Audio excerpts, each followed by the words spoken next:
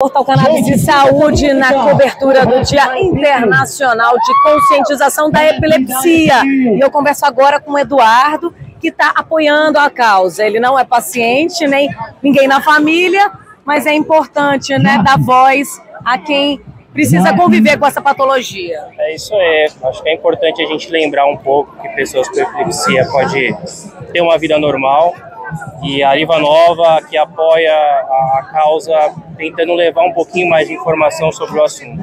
Eu acho que é, é importante a gente estar presente nesse tipo, tipo de, de evento.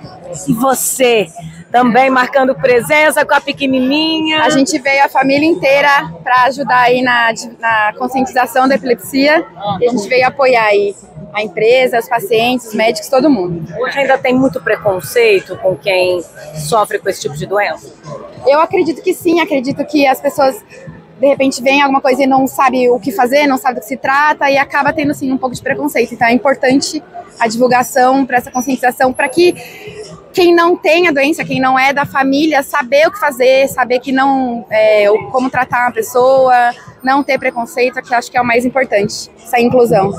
E lembrando que a cannabis também pode ajudar os pacientes que sofrem com epilepsia. É uma das patologias que já tem diversas evidências científicas de que ajuda, sim, a reduzir as crises epiléticas.